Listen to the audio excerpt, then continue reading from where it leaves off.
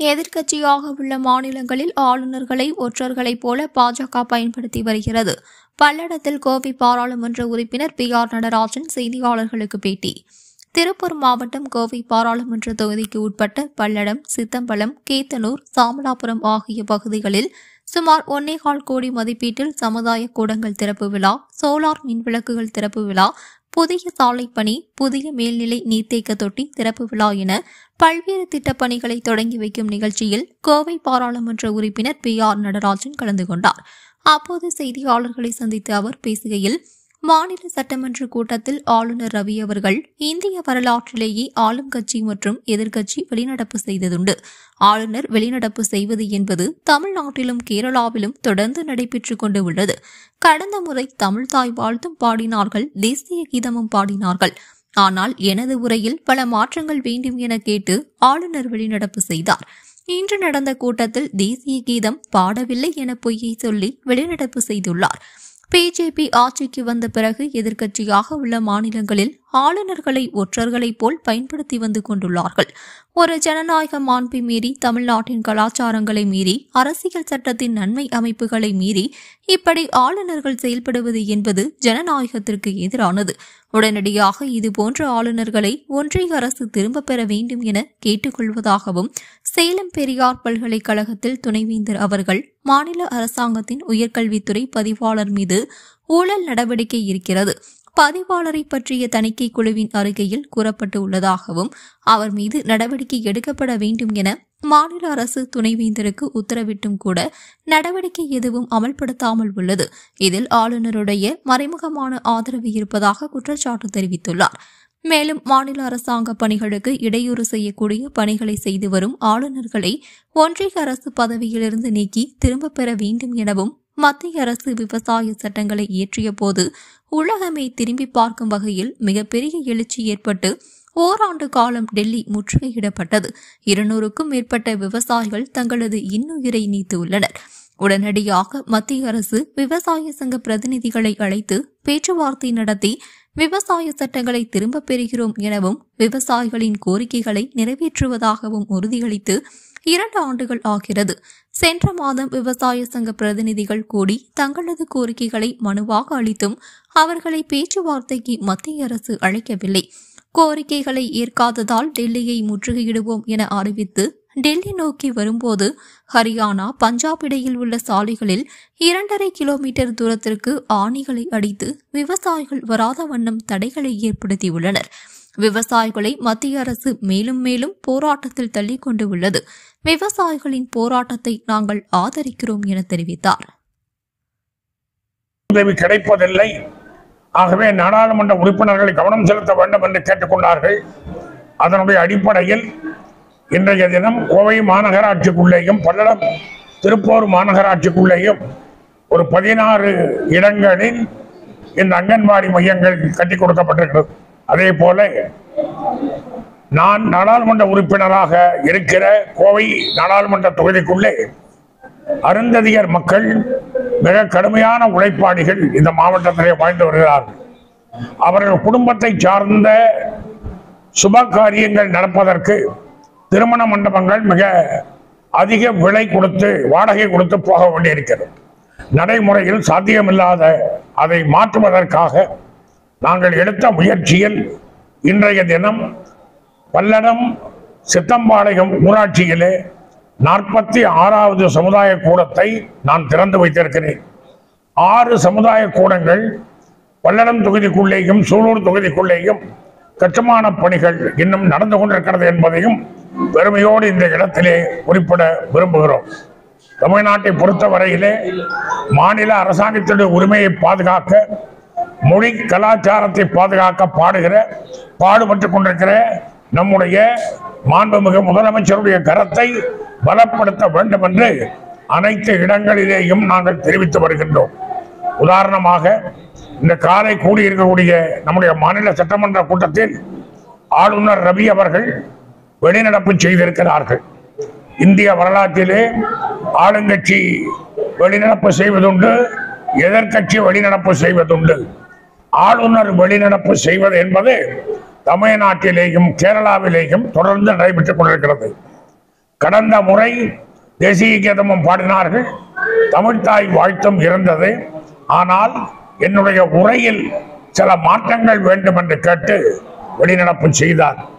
இன்றைக்கு துவங்கிய கூட்டத்தில் தேசிய கீதம் பாடவில்லை என்று பொய்யை சொல்லி வெளிநடப்பு செய்திருக்கிறார். அவருடைய நோக்கமே என்னன்னா வெளிநடப்பு செய்வதுதான் அவருடைய நோக்கம்.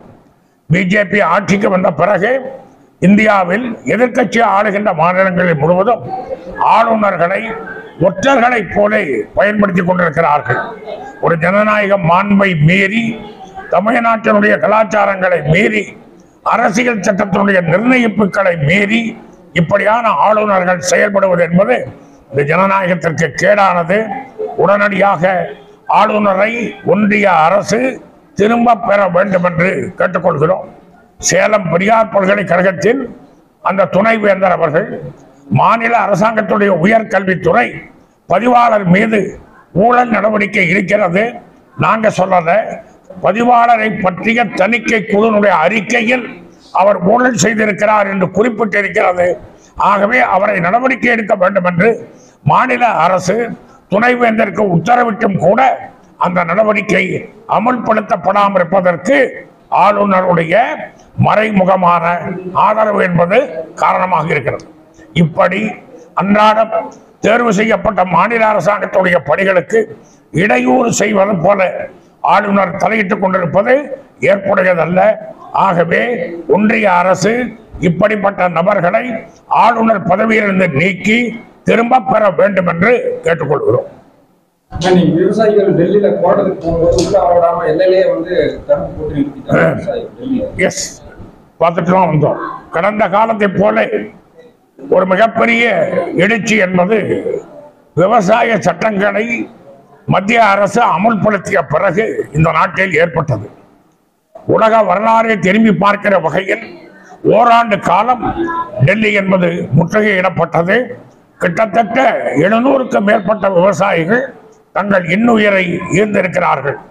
இந்த நிலையில் மத்திய அரசு விவசாய பிரதிநிதிகளோடு பேச்சுவார்த்தை நடத்தி இந்த சட்டத்தை திரும்ப பெறுவது மட்டுமல்ல நாங்கள் நிச்சயமாக பல கோரிக்கைகளை ஏற்றுக்கொள்கிறோம் என்று சொல்லி இன்று இரண்டு ஆண்டுகள் ஆகியிருக்கிறது. ஆகவே கடந்த மாதம் விவசாய சங்கத்துடைய அனைத்து இந்திய அமைப்புகள் கூடி ஒன்றிய அரசிற்கு அவர்கள் கோரிக்கை மனுவினை கொடுத்தார்கள். பேச்சுவார்த்தைக்கு அடைக்கப்படவில்லை ஆகவே இன்றைய தினம் டெல்லியை முற்றுகையிடுவோம். எங்கள் கோரிக்கை ஏற்றுக்கொள்ளப்பட வேண்டும் என்று அறிவித்து அவர்கள் டெல்லியை நோக்கி பேரணியாக வருகிற போது ஹரியானாவிற்கும் பஞ்சாப் பக்கம் இடையில் தார் சாலையிலே ஆணிகளை அடித்து இன்னும் சொல்ல போனால் கடந்த காலத்தில் எப்படி ஒரு இரண்டரை கிலோமீட்டர் தூரத்திற்கு இந்த மாதிரியான தடைகளை ஏற்படுத்துவார்கள் அதே போல தடைகளை ஏற்படுத்தி இருக்கிறார்கள். ஒரே ஒரு விஷயம்தான் எப்படி உலக வரலாறை திரும்பி பார்க்கிற அளவிற்கு விவசாயிகள் போராடினார்களோ மேலும் மேலும் இந்த அரசு அவர்களை போராட்டத்தை நோக்கி தள்ளிக் கொண்டிருக்கிறது. அதான் உண்மை. அதை தாங்கித்தான் அந்த விவசாயிகள் போராடுவார்கள். அவருடைய போராட்டத்தை ஆதரிக்கிறோம் என்பதை தெரிவித்துக் கொள்கிறோம். இன்னும் ஒரு சில மா- மாசத்துல எலெக்ஷன் வரப்போகுது. மார்க்சிஸ்ட் கம்யூனிஸ்ட் எத்தனை சீட்டு நிற்கும் எதிர்பார்க்கலாம். தமிழ்நாட்டை பொறுத்த வரைக்கும் இந்த அணிக்கு தலைமை தாங்குகிற இயக்கம் திராவிட முன்னேற்ற கழக கழகமும் அதனுடைய தலைவரும் மாண்புமிகு முதலமைச்சரான மு க ஸ்டாலின் அவர்களும் தான். இன்னைக்கு அவர்கள் அமைத்திருக்கக்கூடிய குழுவோடு அனைத்து கட்சிகளிலும் அமைத்திருக்கிற குழு பேச்சுவார்த்தை நடத்தி கொண்டிருக்கிறார்கள். பேச்சுவார்த்தை முடிந்து மா இந்த குழுவினுடைய தலைவர் என்ற முறையிலே மாண்புமிகு முதலமைச்சர் அவர்கள் கூடிய விரைவில் அதை அறிவிப்பார்கள். நாடாளுமன்ற தொகுதி கோவை நாடாளுமன்ற தொகுதி கண்டாவர் இந்த கூட்டணியில் இல்லாத எந்த கட்சியும் எங்கு வேணா போட்டியிடுவதாக சொல்லலாம். அவர்களுக்கு உரிமை உண்டு. யாரை யாரை பற்றியும் சொல்றாங்க? அது தெரியல. அது வேண்டாதவர்கள் அப்படி சொல்லலாம். வாரணாசியில கூட தான் மோடி கொட்டி இருக்கிறாங்க அவங்கள போய் பார்த்துட்டு வர சொல்லுங்க. கண்டா வர சொல்லுங்கன்னு அங்கேயும் ஒட்டி இருக்கிறாங்க டிவியில மட்டும்தான் வர்றாருன்னு அங்கேயும் ஒட்டி இருக்கிறாங்க ரைட்டு.